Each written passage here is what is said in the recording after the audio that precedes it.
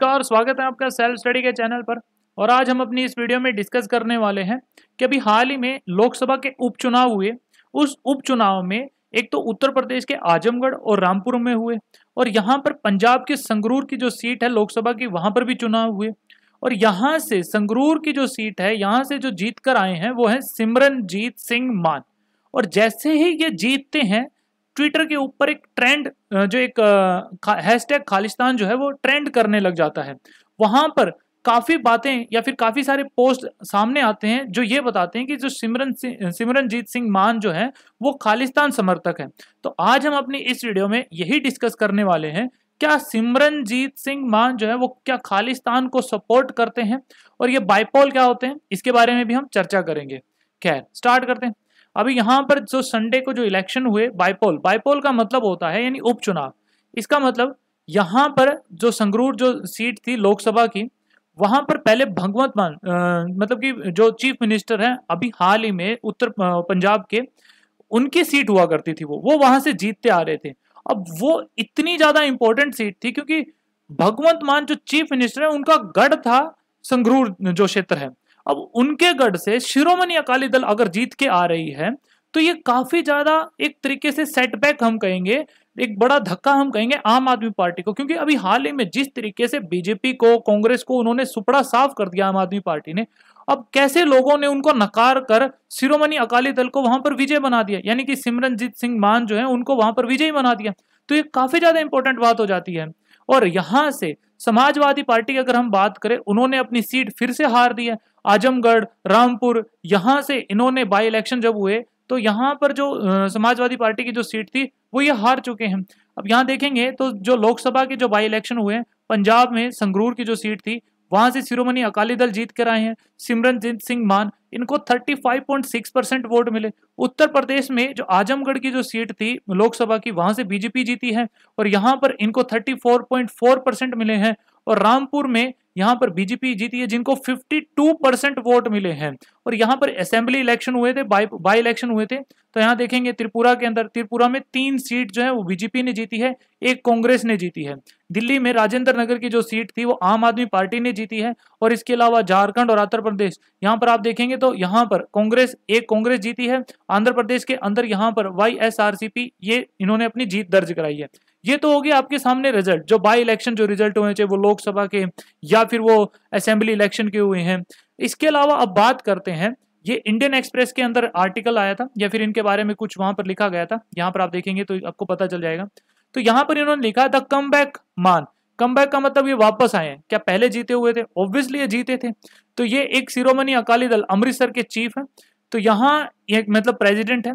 इन्होंने जीत दर्ज कराई और वो भी उस वक्त जब आम आदमी पार्टी ने सुपड़ा साफ़ कर रखा था बीजेपी का, कांग्रेस का फुल पावर में ये आए थे। उस वक्त जैसे लोगों ने यहाँ पर आम आदमी पार्टी को पीछे धकेलते हुए सिमरनजीत सिंह मान इनको आगे लेकर आए तो काफ़ी बड़ा धक्का है आम आदमी पार्टी के लिए।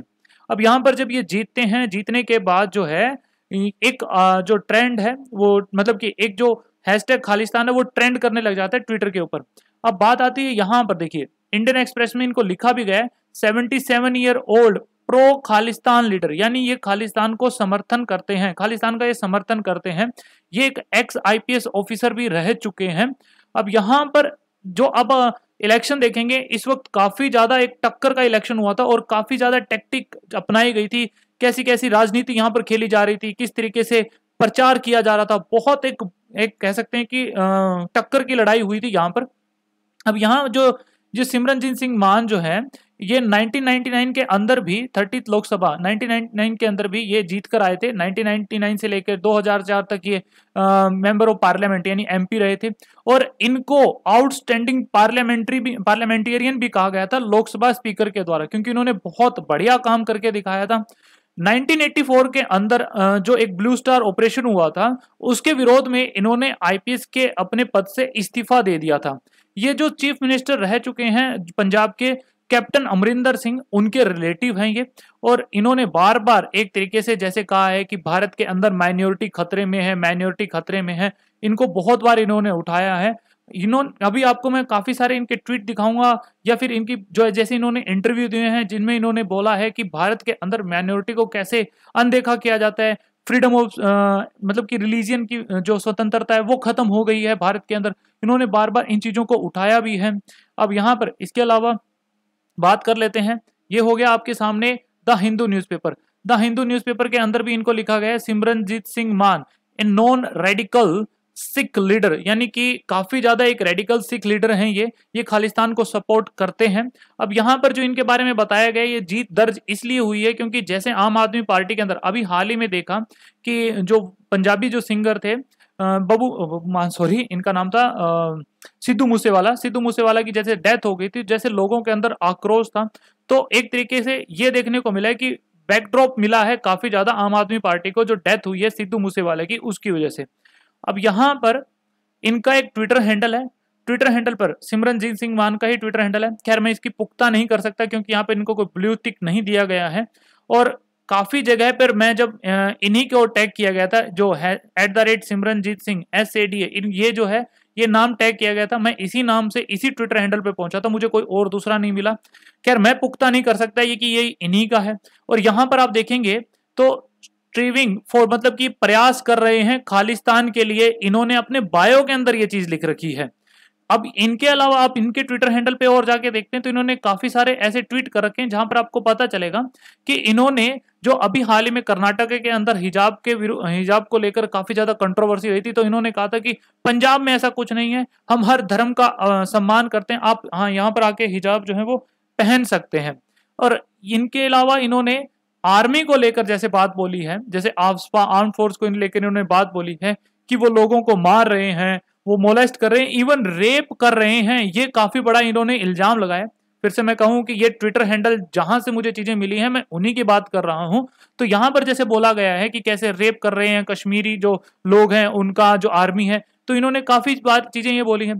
साथ ही साथ इन्होंने बोला है कि जैसे अभी बीजेपी और आरएसएस मिलके कैसे मुस्लिम को बाहर कर रहे हैं और यहाँ पर माइनॉरिटी को कोई भी यहाँ पर प्रोटेक्शन नहीं है, फ्रीडम ऑफ़ रिलीजियन खत्म कर दी गई है, ये इनके द्वारा बोली गई चीज़ें हैं। अभी फिर से जब अगर आप जाकर अभी देखेंगे तो यहाँ से इनके ट्विटर, यही जो ट्विटर हैंडल है, आप जाकर देखेंगे तो यहाँ पर आपको हैश खालिस्तान, वो सारी चीज़ें अब आपको नहीं मिलेंगी। यानी पहले थी, ये देखिए, यहाँ पर थी ये यहाँ पर लिखा हुआ है, अब वो नहीं है, अब वो गायब है यहाँ से। मतलब इसको एडिट कर दिया गया है। अब जैसे ये जीतते हैं तो इन्होंने अपना एक इंटरव्यू दिया द टाइम्स ऑफ़ इंडिया को, और इस इंटरव्यू में इन्होंने कहा कि हम जो है, पाकिस्तान के साथ अपने, जो बॉर्डर हैं, उनको वापस खोलना चाहते हैं ताकि जो पाकिस्तान अनाज के लिए तरस रहा है, उनको अनाज हम पहुँचा सकें। और साथ ही साथ इन्होंने कहा है, अभी हाल ही में आपको पता है कि अग्निपथ योजना जैसे चली थी, अग्निपथ योजना के खिलाफ काफ़ी सारे प्रदर्शन हुए।